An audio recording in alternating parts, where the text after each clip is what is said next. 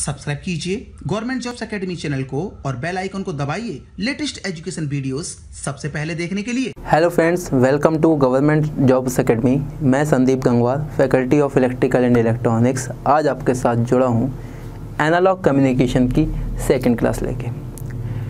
इससे पहले analogue communication के लिए मैंने आपको एक पहली क्लास बताई थी, जिसमें मैं टॉपिक को डिस्कस कर रहा था बीजीटी बाइपोलर जंक्शन ट्रांजिस्टर मैं आपको उसी क्लास में बता चुका हूँ कि जो ये बीजीटी का टॉपिक है, वो आपका ईडीसी का टॉपिक है, ये एंड इलेक्ट्रिकल एंड इलेक्ट्रॉनिक्स दोनों के लिए ही कॉमन टॉपिक है। तो कुछ इलेक्ट्रिकल के स्टूडेंट्स पूछ रहे थे कि, सर इलेक्ट्रिकल का टॉपिक तो इलेक्ट्रिकल का टॉपिक है, ये इंपॉर्टेंट है। और बाकी जो उनके टॉपिक हैं, वो उनकी फैकल्टी कराएगी। फ़िलहाल ये जो कॉमन टॉपिक है, ये आपको दोनों को ही पढ़ना है तो आप इस चीज़ को पढ़िएगा। लास्ट क्लास को आप देखिएगा, अगर आपने ये क्लास ना देखी हो तो इस क्लास को देखिएगा तो आपको समझ में ज़्यादा आएगा और उन्हीं जो आपने नोट्स बनाए हैं, उन्हीं को आगे कंटिन्यू कीजिएगा। प्रॉपर नोट्स बनाइएगा प्रॉपर नोट्स बनाइएगा। उसमें क्या है, जैसे कि अभी हम लोग यहाँ क्लास ले रहे हैं, माना कि वो क्लास इतनी डीप में नहीं है थोरेटिकली मैं आपको बता नहीं सकता पॉइंट लिखा नहीं रहा हूँ बट वो आपके लिए इंपॉर्टेंट है। आप उसे शॉर्ट व्यू में लिखिएगा शॉर्ट नोट्स की फॉर्म में बनाइएगा। एज एन क्रैश कोर्स मैं आपको प्रोवाइड कर रहा हूँ तो जो आपके आने वाले एग्ज़ाम है, उसके लिए इंपॉर्टेंट रहेगा। ठीक है? तो ये जो एनालॉग कम्युनिकेशन का मैं जो आज सेकंड लेक्चर ले रहा हूँ, इसमें मैं वही बीजेटी का ही टॉपिक डिस्कस कर रहा हूँ। बीजेटी का पार्ट टू है ये। बीजेटी का पार्ट टू है। इस बीजेटी के पार्ट टू में मैंने आपको बताया था कि ये अगर आपका, ऐसे देखिएगा, कि मैंने आपको बताया था कि एक आपका इमीटर रहेगा, एक आपका बेस होगा और देन आपका कलेक्टर होगा। थ्री टर्मिनल डिवाइस होगी टू डायोड रहेंगे, एक P N and T N ठीक है? यहाँ पर जो ये जंक्शन है इसका, मैंने इसको बोला था जंक्शन जे वन एंड इसको बोला था जे टू अब मैं क्या बोल रहा हूँ, ये इमीटर और बेस के बीच का जंक्शन है तो इसे मैं बोल रहा हूँ जे ई बी और बेस एंड कलेक्टर का जे बी सी या फिर जे सी भी बोल दो या फिर जे बी सी बोल दो, ठीक है? तो ये आपका एक जंक्शन है और ये आपका एक जंक्शन तो आपकी जो जंक्शन क्या है? जो आपके जंक्शन है, जो आपके जंक्शंस हैं, वो कौन से हो गए? J E B and J C B ठीक है सी बी ई बी मैंने मॉड लगा दिया है ठीक है, आपको ऐसे भी ले सकते हैं। फ़िलहाल ये जंक्शन है, एक जंक्शन आपका, ये वाला जंक्शन है एक, और एक जंक्शन आपका ये वाला जंक्शन है। ठीक है? ये दोनों डायोड हैं, एक डायोड ये है, एक डायोड ये है। वो कैसे हैं? वो इस तरीके से हो सकते हैं, या फिर आपका ये पी हो सकता है, ये N P N diode junction बीच में, या फिर ये पी और ये एन तो पी एन डायोड का बीच में ये जंक्शन या फिर इसके अलावा ये इस तरीके से भी हो सकता है। ये आपका एन हो जाए, ये आपका पी हो जाए और ये आपका एन हो जाए। तो एन पी एन भी हो सकता है या फिर पी एन पी भी हो सकता है। ये आपका पी एन पी भी हो सकता है। या फिर जो ये ब्लू मार्कर में मैंने लिखा है ये आपका एन पी एन ये भी हो सकता है। जो भी रहेगा आपका, फ़िलहाल दो जंक्शन बनेंगे ये जंक्शन ठीक है? तो ये आपका जंक्शन हो गया दो क्रिएट हो गया अब आप देखिएगा, मैंने आपको डायोड जब पढ़ाया था डायोड की क्लास में मैंने बताया था कि P और N, या फिर N और P, दोनों जब मिलेंगे तो एक जंक्शन फॉर्म होगा। उस जंक्शन को मैं दो बायास में जोड़ सकता हूँ। एक फॉरवर्ड बायास एंड एक रिवर्स बायास मैंने आपको बताया था ज़ीरो बायास में नहीं जोड़ते, क्योंकि ज़ीरो बायास में शॉर्ट सर्किट करना पड़ता है। वो अपने लिए एडवांटेज नहीं है। वो अपनी एक तरीके से प्रिकॉशन से उसको शॉर्ट ना हो पाए तो उससे बचाना है। फ़िलहाल तो इसको जब मैं, अब आप देखिएगा, जब इस डायोड को सपोज़ कर लेता हूँ, मैं ये पी एन पी है। एज्यूम कर रहा हूँ, ये भी आपका पी एन पी है। ये आपका पी एन पी है। अब इसको इस जंक्शन को मुझे फॉरवर्ड बायास लाना है तो फॉरवर्ड बायास लाना है तो ये पी जो है पॉजिटिव से होगा। और जो आपका ये एन है, वो आपका एन क्या हो जाएगा? निगेटिव से हो जाएगा। तो अब देखिए, ये जो पी एन डायोड है पी पॉजिटिव से है एन निगेटिव से है, और ये जंक्शन जो डायोड होगा, वो आपका जो डिप्लीशन लेयर होगी, ये फॉरवर्ड बायास में हो जाएगी। ये आपका क्या हो जाएगा? आपका फॉरवर्ड बायास में हो जाएगा। ये तो एक जंक्शन हो गया। ऐसे ही दूसरा जंक्शन इस P को मैंने क्या कर दिया? पॉजिटिव से और इस N को मैंने क्या कर दिया? निगेटिव से। तो अब ये वाला जो इधर वाला भूल जाइए P और N, ये जो जंक्शन है P पॉजिटिव ये भी आपका फॉरवर्ड बायस हो गया। तो दो जंक्शन हैं। फॉरवर्ड फॉरवर्ड हो सकते हैं। रिवर्स रिवर्स हो सकते हैं। फॉरवर्ड, रिवर्स हो सकते हैं। रिवर्स और फॉरवर्ड हो सकते हैं। टू की पावर एन पॉसिबिलिटीज़ हो गई तो आपका क्या हो गया? टू की power two equal to four four conditions हो गई। पहली कंडीशंस मैं मान लेता हूँ एज्यूम करता हूँ, अभी तो मैंने एग्ज़ाम्पल के फॉर्म में बताया है कि फॉरवर्ड फॉरवर्ड सपोज़ करो ये आपकी रिवर्स बायास है, और ये भी आपका रिवर्स बायास कैसे रिवर्स बायास पी आपका निगेटिव से एन आपका पॉजिटिव से। पी निगेटिव एन पॉजिटिव हो जाएगा? रिवर्स बायास क्योंकि भाई, पता है अपनों को, अगर पी पॉजिटिव होता है एन नेगेटिव होता है तो इसे कहते हैं हम फॉरवर्ड बायास और इफ़ अगर ये आपका पी आपका हो जाए निगेटिव और एन हो जाए आपका पॉजिटिव इसे कहते हैं हम रिवर्स बायास तो ये पी और एन के ऊपर का खेल है कि पी टाइप का मटेरियल आपने नेगेटिव से जोड़ा या पॉजिटिव से जोड़ा. फ़िलहाल मैंने अभी नेगेटिव से जोड़ दिया पी पॉजिटिव से। पी निगेटिव से एन पॉजिटिव से तो ये आपका रिवर्स बायस ऐसे ही मैंने इसको कह दिया, ये निगेटिव और ये आपका पॉजिटिव तो ये भी आपका रिवर्स बायस तो ये कंडीशन हो गई, दोनों ही रिवर्स बायस फ़िलहाल ये रिवर्स बायस में हो गया। सेकंड दोनों ही अगर मैं कह दूँ forward bias and forward bias दोनों ही फॉरवर्ड बायस में फॉरवर्ड बायस के भी मैंने आपको कंडीशन बताई थी कि फॉरवर्ड बायस के लिए यहाँ पर अगर इसे फॉरवर्ड बायस आना है, इसे फॉरवर्ड बायस होना है तो ये पॉजिटिव से, ये नेगेटिव ये आपका फॉरवर्ड बायस हो गया दोनों जंक्शन तो ये आपके फॉरवर्ड बायस हो गया। अब क्या है? थर्ड नंबर ये वाला जंक्शन फॉरवर्ड बायस और ये वाला जंक्शन रिवर्स बायस ये देखिएगा। इसको फॉरवर्ड बायास होना है इस वाले जंक्शन को तो ये तो सही है फॉरवर्ड बायास है। इसको रिवर्स बायास होना है तो पी क्या हो जाएगा? पी हो जाएगा निगेटिव से एन क्या हो जाएगा? पॉजिटिव से। अब ये वाला जंक्शन क्या हो गया आपका? ये हो गया reverse bias forward reverse forward and reverse bias but यहाँ पर थोड़ा कन्फ्यूज़न ये आता है कि ये जो एन है एन नेगेटिव से भी अटैच है। निगेटिव टर्मिनल से और एन ही जो है वो आपका पॉजिटिव से है। तो कन्फ्यूज़न ये है कि एन नेगेटिव है या फिर एन पॉजिटिव है? तो यहाँ पर कन्फ्यूज़न कुछ नहीं है ये। क्या है? ये इस पी के रेस्पेक्ट में पॉजिटिव है और इस वाले पी के रेस्पेक्ट में ये नेगेटिव है। ये कौन सा पी है? ये मीटर वाला पी है, ये हाईली डोप्ड वाला पी है। तो ये पी प्लस है बाय डिफ़ॉल्ट ये नॉर्मल पी है और ये आपका एन माइनस था। तो ये जो है इसके रेस्पेक्ट में है और ये इसके रेस्पेक्ट में है। या फिर मैं ये कहूँ कि ये सर्किट कुछ इस तरीके से है कि ये यहाँ पर ये सप्लाई ऐसे दी गई है, ये सप्लाई ऐसे दी ग्राउंड है और ये आपका ग्राउंड है।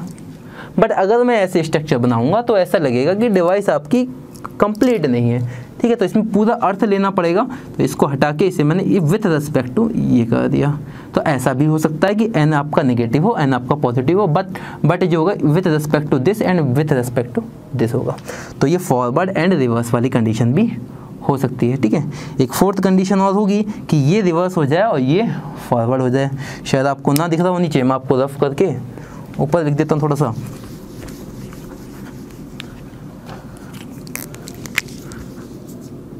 फ़र्स्ट कंडीशन, दोनों ही reverse bias reverse bias second condition दोनों ही forward bias forward bias third condition ये आपका फॉरवर्ड बायस और ये आपका reverse bias and fourth condition ये आपका रिवर्स बायस हो जाए और ये आपका फॉरवर्ड बायस हो जाए. इसको रिवर्स बायस होना है, इसको फॉरवर्ड होना है तो ये नेगेटिव ये पॉजिटिव ये हो गया आपका रिवर्स बायस और यहाँ पर ये रिवर्स बायस है, इसे कह दो फॉरवर्ड बायस ये हो गया आपका फॉरवर्ड बायस तो ये फोर्थ कंडीशन का डायग्राम हो गया. तो कुल मिला ये डायग्राम हो गया. ठीक है? बात इंपॉर्टेंट क्या है? बात इंपॉर्टेंट ये है कि इफ़ ये जो इमीटर का जंक्शन है ये जो इमीटर वाला जंक्शन है इमीटर बेस कॉमन है यहाँ पर भी बेस कॉमन है इसे कहते हैं कलेक्टर जंक्शन क्योंकि यहाँ कलेक्टर है और यहाँ बे, बेस बेस तो कॉमन है तो बेस का वर्ड हटा दो।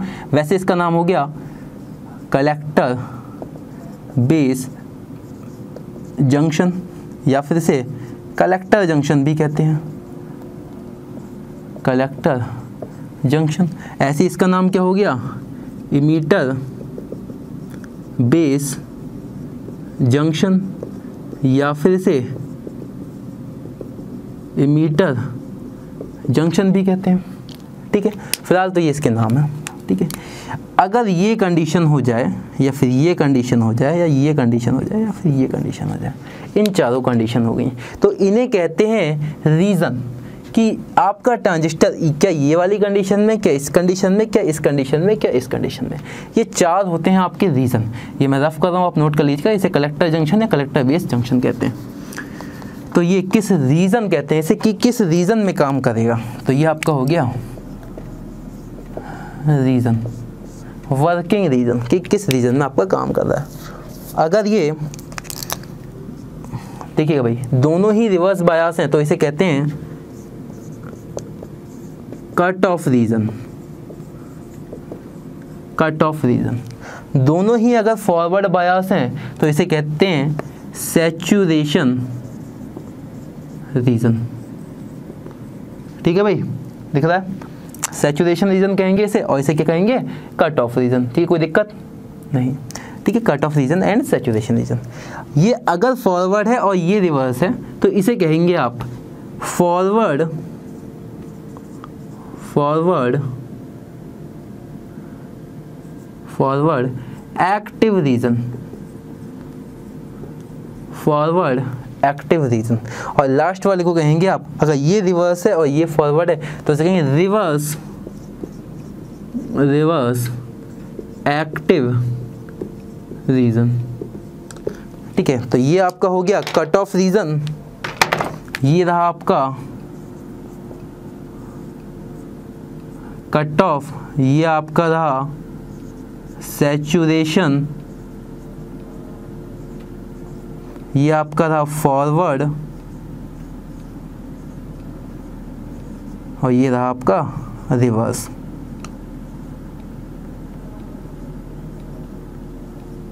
ठीक है तो ये आपके चार रीज़न हो गए. Cut off region saturation region forward region and reverse region ठीक है, अपने लिए देखिएगा. कट ऑफ़ ये आपका इनपुट में रिवर्स बायस है। रिवर्स बायस जब में जब ये इनपुट पोर्ट होता है इमीटर बेस वाला होता है इनपुट पोर्ट और कलेक्टर बेस वाला होता है आउटपुट पोर्ट ये आपका होता है आउटपुट पोर्ट और ये आपका होता है इनपुट पोर्ट तो इनपुट पोर्ट है तो यहाँ पर इनपुट रेजिस्टेंस होगा, यहाँ पर आउटपुट रेजिस्टेंस होगा। ठीक है? तो जब इनपुट रेजिस्टेंस है तो इनपुट रेजिस्टेंस आप देखिएगा कि यहाँ पर इनपुट रेजिस्टेंस रिवर्स बायस में है तो वेरी हाई होगा। यहाँ पर भी हाई होगा आउटपुट रेजिस्टेंस तो इनपुट एंड आउटपुट दोनों ही हाई होते हैं। यहाँ पर फॉरवर्ड है, ये भी फॉरवर्ड है, और फॉरवर्ड बायस में रेजिस्टेंस क्या होता है? कम हो जाता है। रिवर्स बायस में क्या होता है? Greater than one mega ohm होता है। ये मैं आपको लास्ट क्लास में डायोड की क्लास में मैं आपको डिस्कस करके बता चुका हूँ। तो फॉरवर्ड बायस में क्या हो गया? देखिएगा फॉरवर्ड बायस में यहाँ पर फॉरवर्ड तो यहाँ पर रेजिस्टेंस कम होगा, यहाँ पर भी रेजिस्टेंस कम होगा तो ये हो गया फॉरवर्ड बायस का। इसमें देखिएगा, इसमें इनपुट रेजिस्टेंस फॉरवर्ड बायस से यहाँ पर कम होगा, यहाँ पर जो इनपुट रेजिस्टेंस है, मैं लिख देता हूँ यहाँ पर लो है क्या? आर आई और यहाँ पर जो होगा हाई हैगा क्या? आर नॉट या फिर आउटपुट रेजिस्टेंस यहाँ पर क्या रहेगा? आउटपुट आपका हाई रहेगा और यहाँ पर आउटपुट आपका हाई रहेगा एंड यहाँ इनपुट आपका हाई रहेगा एंड आउटपुट जो रहेगा आपका वो लो रहेगा। फ़िलहाल ये जो कंडीशन है थर्ड पॉइंट वाली। फॉरवर्ड एक्टिव रीजन या फिर इसे सिर्फ़ एक्टिव रीजन के नाम से भी जाना जाता है। अब ये कंडीशन देखिए input low and output high जब मैं आपको बीजेटी की बेसिक प्रॉपर्टी बता रहा था तो मैंने बताया था कि आपको कि बीजेटी जो होता है बीजेटी का जो, ये जो आपका बीजेटी होता है, याद आया? कि बीजेटी का जो इनपुट होता है, वो आपका लो होता है input resistance and output resistance जो होता है, वो आपका हाई होता है। तो आउटपुट रेजिस्टेंस हाई है एंड इनपुट रेजिस्टेंस लो है। किस रीजन में? इस रीजन में फॉरवर्ड एक्टिव रीजन में। इसे फॉरवर्ड एक्टिव रीजन भी कहते हैं, या फिर इसे सिर्फ़ एक्टिव रीजन भी कह के नाम से भी जाना जाता है। इसे एक्टिव एक्टिव रीजन भी कहते हैं ओनली एक्टिव रीजन भी कहते हैं। ठीक है? तो ये जो रीजन है, इसी में अपना बीजेटी मेनली काम करता है। वैसे काम किसी भी रीजन में कर सकता है बट इस रीजन में अच्छा काम करता है। इस रीजन में कौन सा काम ऐसा है जो अच्छा होता है? BJT as an amplifier BJT as an amplifier इस रीजन में काम करता है। तो आपसे जो भी कभी भी पूछे कि बीजेटी एज एन एम्पलीफायर कौन से रीजन में काम करेगा cut off saturation forward and reverse तो आप कह देंगे कि एम्पलीफायर की तरह ये फॉरवर्ड एक्टिव रीजन में काम करता है। याद रखना कि बीजेटी एज एन एम्पलीफायर काम करेगा इस रीजन में फॉरवर्ड एक्टिव रीजन में। तो बाकी रीजन का क्या है? बाकी रीजन में कोई काम नहीं होगा। बाकी रीजन में भी काम होते हैं। इस रीजन में cut off and saturation region. इन दो रीजन में ये स्विच की तरह काम करता है। स्विच की तरह काम करता है। फॉरवर्ड एक्टिव रीजन में मैं आपको बता चुका हूँ, इसमें एज एन एम्पलीफायर की तरह काम करेगा। ठीक है? और लास्ट में जो रिवर्स एक्टिव रीजन है, वो इसी की दूसरी फॉर्म है रिवर्स एक्टिव रीजन इसमें स्विच की तरह काम करेगा, इसमें एम्पलीफायर की तरह काम करेगा और इसमें ये डिजिटल इलेक्ट्रॉनिक्स में यूज़ किया जाता है। जब मैं आपको डिजिटल इलेक्ट्रॉनिक्स पढ़ाऊँगा, जो ट्रांजिस्टर के जो सर्किट बनेंगे, वहाँ E C L T T L जो सर्किट बनेगा तो उसमें इन सभी रीजन का यूज़ किया जाता है। तो आपसे कोई पूछे तो इन रीजन का स्विच, इस रीजन का आंसर एम्पलीफायर और इन सभी रीजन का, इन सभी रीजन को यूज़ किया जाता है किसमें? इन सभी रीजन को यूज़ करते हैं हम डिजिटल डिजिटल आपको शायद नीचे ना दिख रहा हो, ऊपर लिख देता हूँ। इन सभी रीज़न को मैं यूज़ करता हूँ, जितने भी हैं डिजिटल इलेक्ट्रॉनिक्स के सर्किट में। ठीक है? तो मैं आपको तीन पॉइंट मैंने आपको बताया कि एज एन एम्पलीफायर काम करेगा as an as an switch काम करेगा एज एन एम्पलीफायर काम करेगा and as an digital circuit की तरह काम करेगा, वो सभी रीजन में काम करेगा। तो ये बात इंपॉर्टेंट है, ये आपसे एग्ज़ाम में पूछी जाती है, और ये पूछी गई है स्पेशली ये वाला पॉइंट कि एक्टिव रीजन में एज एन एम्पलीफायर की तरह काम करेगा। पीजेटी का जो बेसिक एप्लीकेशन होता है, वो एज एन स्विच नहीं होता। वो एज एन डिजिटल सर्किट नहीं होता, वो एज एन एम्पलीफायर होता है। तो बीजेटी का मेनली जो यूज़ है, वो एज एन एम्पलीफायर है। इसलिए हम जो डिस्कस करने वाले हैं, वो बीजेटी एक्टिव रीजन में ही डिस्कस करेंगे। ये वाले रीजन में ही हम डिस्कस करेंगे। तो ये अपने लिए इंपॉर्टेंट रहेगा। तो मैं जो अब क्लासेस दूँगा, वो इस एक्टिव रीजन के ऊपर दूँगा। एक्टिव रीजन का डिस्कशन करेंगे वर्किंग को डिस्कस करेंगे।